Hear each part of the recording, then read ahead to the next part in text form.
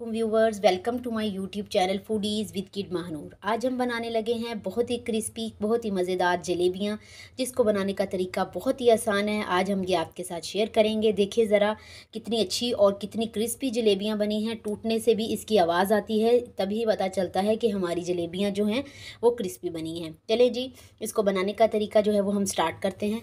जलेबी बनाने के लिए सबसे पहले हम लेंगे यहाँ पे एक बर्तन, उसमें हम डालेंगे दो कप चीनी ये देखें, दो कप चीनी डालेंगे भर के।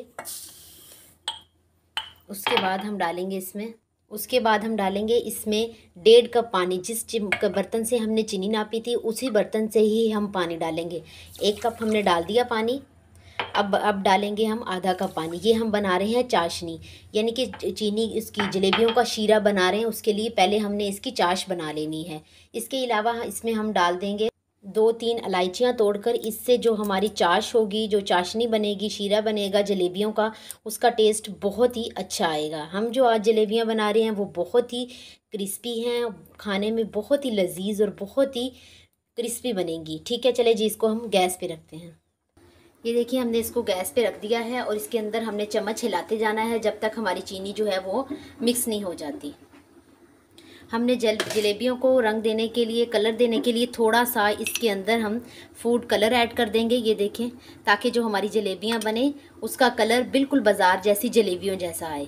आपने भी जब शीरा बनाना है, उसके अंदर थोड़ा सा जर्दा कलर जो है फ़ूड कलर जिसको हम कहते हैं, वो ऐड कर देना है, इससे हमारी जलेबियों का कलर बिल्कुल मार्केट जैसी जलेबियों जैसा आएगा। चले जी, अब इसे हम शीरे को अच्छी तरह से पका लेते हैं। देखें हमारी चीनी जो है वो अच्छे से मिक्स हो चुकी है और हमारे शीरे में बॉयल आना स्टार्ट हो चुका है। इसको जब बॉयल आना स्टार्ट हो जाए, उसके बाद आप इसको दो से तीन मिनट मज़ीद और पकाएँ। दो मिनट हो चुके हैं, हमारा शीरा जो है वो बिल्कुल रेडी हो चुका है। अब इसके अंदर हम हाफ़ टी स्पून लेमन का जूस डालेंगे लेमन का रस डालेंगे, ये देखें इस तरह से, ताकि हमारा शीरा जो है वो जमे ना। इसको मिक्स कर लेंगे। और अब इसे हम किसी बर्तन में निकाल लेंगे। है वो हमारा एकदम रेडी हो चुका है। इसको अब हम गहरे बर्तन में निकाल लेंगे। गहरे बर्तन में निकालने का मतलब ये है कि जब हम इसमें अपनी जलेबियों को डालें तो उसमें शीरा जो है वो अच्छे से मिक्स हो जाए। इस वजह से हम अपने शीरे को गहरे बर्तन में निकाल रहे हैं। अब हम इसको ढाँप कर एक साइड पर रख देंगे और जलेबी का बैटर तैयार करते हैं। हम जलेबी का बैटर बनाएँगे। एक कप हमने लिया है मैदा। ये वही कप है जिससे हमने चीनी, उसकी जलेबी की चाशनी बनाने के लिए हमने चीनी ली थी। एक कप, उसी कप से हमने एक कप मैदा नापा है। इसको डाल दिया। अब इसके अंदर हमने एक चम्मच देसी घी। आप डाल्टा ऑयल और दूसरा घी भी यूज़ कर सकते हैं। हमने देसी घी लिया है। अब इसको अच्छे से हम मिक्स कर लेंगे। हमने घी इस वजह से डाला है क्योंकि ये हमारी जलेबियों को ज़्यादा देर तक कुरकरा बनाए रखेगा। अब इसके अंदर हम डालेंगे। इसमें मैं एक पैकेट इनो का डालूँगी, जो कि जलेबी में इंस्टेंट का काम करेगा और उसको फुलाने का भी काम करेगा जलेबी को। अगर मैं इसको ग्राम में बताऊँ तो ये 500 ग्राम के तकरीब नज़दीक बनता है। ये जलेबी को फुलाएगा और देर तक कुरकुरा रखेगा। इसको हम अच्छे से बैटर में मिक्स कर लेते हैं। इन सारी चीज़ों को मिक्स करने के बाद हम इसमें थोड़ा थोड़ा करके पानी ऐड करेंगे। अगर हम एकदम ही सारा पानी डाल देंगे तो हमारा बैटर जो है वो सही नहीं बनेगा और हमारी जलेबी जो है वो भी इससे अच्छी नहीं बनेगी। इससे, इसमें पानी आपने थोड़ा थोड़ा करके ही डालना है ताकि हमारा बैटर जो है वो अच्छा बने और हमारी जो जलेबियाँ हैं वो क्रिस्पी बने। इसको हमने थोड़ा थोड़ा पानी करके अच्छे से मिक्स कर लेना है। ये देखिए हमारा बैटर जो है वो अच्छे से रेडी हो रहा है। हमने इसको दो मिनट तक अच्छे से बीट करना है ताकि हमारी जो जलेबियाँ हैं वो क्रिस्पी बने। इसको क्रिस्पी बनाने के लिए हमने इसको दो मिनट के लिए अच्छी तरह से, इस तरह से हमने इसको बीट कर लेना है। ये देखिए हमारा लिक्विड कितना फ़ाइन और कितना अच्छा रेडी हुआ है। दो मिनट अच्छे से इसको बीट कर लें। देखिए हमारा बैटर जो है वो अच्छे से रेडी हो चुका है। इसमें हमने एक कप ही पानी डाला है और एक कप ही मैदा डाला है। एक कप पानी से ही हमारा जो बैटर है वो अच्छे से मिक्स हो चुका है और ये रेडी हो चुका है। अब हम कोई भी इसको डालने के लिए टमाटो केचप वाली बोतल ले सकते हैं। इस तरह से आप या पॉलीथीन बैग भी ले सकते हैं। उसके अंदर इस मिक्सचर को डालकर हम अपनी जलेबियाँ जो हैं वो ईज़िली बना लेंगे।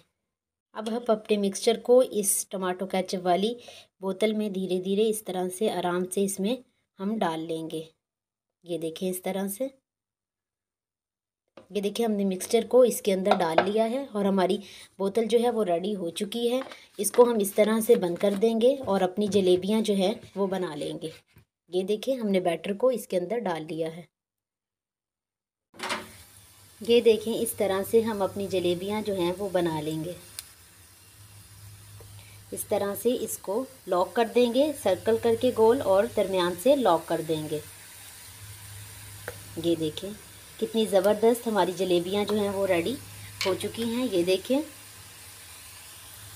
ये देखें कितनी अच्छी शेप आई है हमारी जलेबियों की। इसको थोड़ा सा हम गोल्डन ब्राउन कलर होने देंगे इसका। अब इसकी हम साइड चेंज कर देंगे। इस तरह से बहुत ही क्रिस्पी बनी है हमारी जलेबियाँ देखने में, बहुत ही मज़ेदार और बहुत ही क्रिस्पी लग रही हैं। अब इसकी हम साइड इस तरह से चेंज कर देंगे। ये देखें, अब हल्का गोल्डन कलर आने तक इन्हें हम फ्राई करेंगे। हल्का गोल्डन ब्राउन कलर सा आ चुका है। अब इसको निकाल के हम फ़ौर ही शीरे में डाल देंगे। इस तरह से हमने शीरा इस साइड पे पकड़ा हुआ है हाथ में।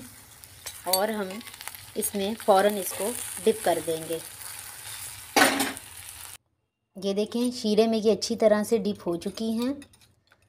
ये देखें इस तरह से। अब इसको हम निकाल लेंगे। एक मिनट हो चुका है इनको शीरे में। अब इसे निकाल के प्लेट में रख देंगे, बाकी जलेबियों में रख देंगे। देखिए ज़रा कितनी क्रिस्पी और कितनी अच्छी जलेबियाँ बनी हैं हमारी। ये देखें व्यूवर्स हमारी सारी जलेबियाँ जो हैं वो रेडी हो चुकी हैं। देखें ज़रा कितनी क्रिस्पी बनी हैं और कितनी अच्छी लुक आ रही है इसकी। आप भी ज़रूर इसे ट्राई करें और ज़रूर बनाएँ। अगर आपको मेरी वीडियो पसंद आई हो तो मेरी वीडियो को लाइक करें और मेरे चैनल को सब्सक्राइब करें ताकि हम आपके लिए ऐसी और अच्छी वीडियोज़ बनाते रहें। Thank you